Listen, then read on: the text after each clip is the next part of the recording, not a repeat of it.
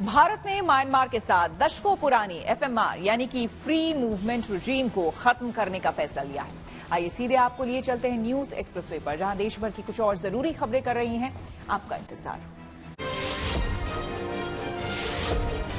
अब भारत और म्यांमार के बीच बिना वीज़ा के आवाजाही नहीं हो सकेगी। भारत ने म्यांमार के साथ दशकों पुरानी एफएमआर, यानी फ्री मूवमेंट रेजिम को खत्म करने का फैसला लिया है। गृह मंत्रालय ने इसकी सिफारिश की है। गृह मंत्री अमित शाह ने सोशल मीडिया पर इसकी जानकारी देते हुए कहा कि सीमा से लगे भारत के पूर्वोत्तर राज्यों की डेमोग्राफी, यानी जनसांख्यिकीय संरचना को बनाए रखने के लिए ये फैसला लिया गया है। फ़िलहाल सीमा के दोनों ओर 16 किलोमीटर तक के इलाके में रहने वाले लोगों को वीज़ा मुक्त आवाजाही की अनुमति है।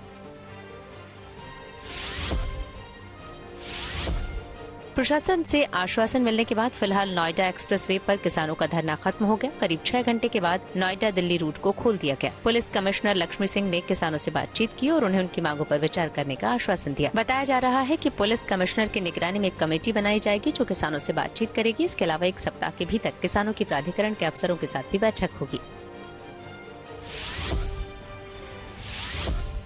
आध्यात्मिक गुरु आचार्य श्रील प्रभुपाद जी की 150वीं जयंती के मौके पर आयोजित समारोह में पीएम मोदी ने शिरकत की। इस मौके पर भारत मंडपम में भव्य कार्यक्रम का आयोजन किया गया। यहाँ पहुँचे पीएम मोदी का वाद्य यंत्रों से स्वागत किया गया। इस खास मौके पर आध्यात्मिक गुरु के सम्मान में उन्होंने एक स्मारक टिकट और एक सिक्का भी जारी किया।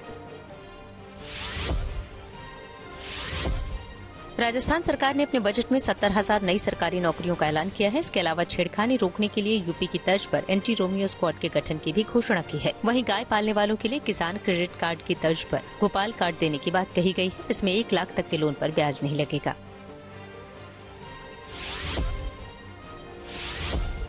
जम्मू कश्मीर के सोनमर्ग इलाके में गुरुवार को भारी हिमस्खलन हुआ। श्रीनगर लेह राजमार्ग पर हुए इस हिमस्खलन में फ़िलहाल किसी के हताहत होने की कोई खबर नहीं है। इस बीच प्रशासन ने लोगों से अगले 24 घंटे अब लॉन्च वाली जगह पर न जाने की अपील की है।